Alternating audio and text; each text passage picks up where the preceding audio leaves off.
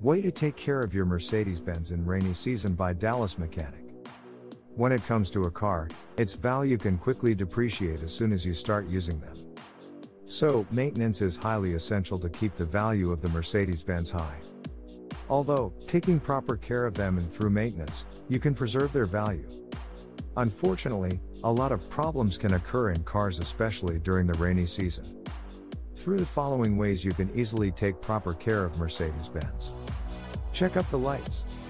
When the rain is pouring heavily, the lights literally guide you through a dark path.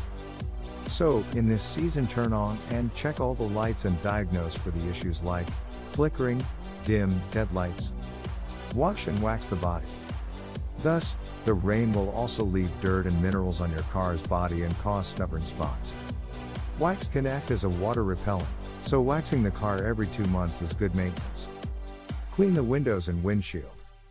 Rainy season leaves minerals that can accumulate and turn into the dirt if you don't clean them. On a rainy day, you just give a good wipe to the windows and windshield after the rain. Check the battery. Rainy season can run your car batteries double from the constant need for lights to air conditioning. Do not wait for your battery to die before you have it replaced in your Mercedes Benz. Properly maintain the tires. When the rainy season starts, old tires are not the best companion when it comes to slippery roads.